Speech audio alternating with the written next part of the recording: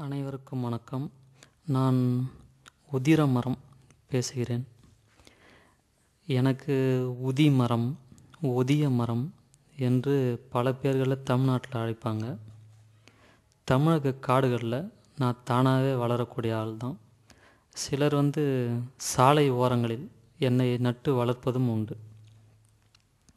தாது பலம் கொடுப்பதில் என்னை விட சிறந்த ஒரு மரம் கிடையாது. சதை நரம்பு வீங்கி இருந்தால் இரத்த கசிவு ஏற்பட்டால் உடலில் சில உறுப்புகள் அழுகி இருந்தால் அது தடுக்கக்கூடிய தன்மை என்னோட மரத்துக்கு உண்டு. என்னுடைய இலையை விளக்கெண்ணெய் விட்டு வதக்கி வீக்கங்களில் வைத்து கட்டி வந்தீங்கன்னா வீக்கம் கரைந்து விடும். அதே மாதிரி அரைத்து பற்று போட்டு வந்தீங்கன்னா புரை ஓடிய புண்கள் எப்படிப்பட்டதாக இருந்தாலும் சரி பண்ணி தரக்கூடிய தன்மை எனக்கு இருக்குது என்னுடைய பட்டையை நீரில் போட்டு கொதிக்க வச்சு வடிகட்டி அதன் பிறகு ஆறாத புண்கள் ஆசன வாயில் காணும் புண்கள் பிறப்பு உறுப்பில் உள்ள சில விதமான புண்கள் போன்றவற்றில் கழுவி வந்துக்கிட்டனாலே குணமாகி வரும். அதே நீரால் வாய் கொப்பளித்து வந்தாலும் பல் ஈறுகளில் வரக்கூடிய இரத்தம் குணமாகும்.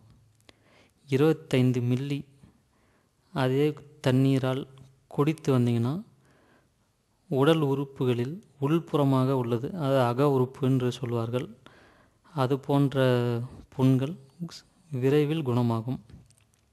என்னுடைய பட்டை இருபது கிராம் அஞ்சு கிராம் மஞ்சள் சேர்த்து அரைத்து பின் பாலில் கொதிக்க வைத்து வடிகட்டி காலை மாலை இருவேளை சாப்பிட்டு வந்தீங்கன்னா இரத்த பேதி தாகம் மயக்கம் போன்றவை குணம் பெறும். என்னுடைய பிசின் நூறு கிராம் பொடி செய்து அதோடு அஞ்சு கிராம் கிராம்பு பொடி கலந்து வைத்துக்கொண்டு ஒரு தேக்கரண்டி அளவு தேனில் உழைத்து காலை மாலை மட்டும் சாப்பிட்டு வந்தால் எப்படிப்பட்ட இறை இருந்தாலும் குணம் பண்ணுவேன். நன்றி.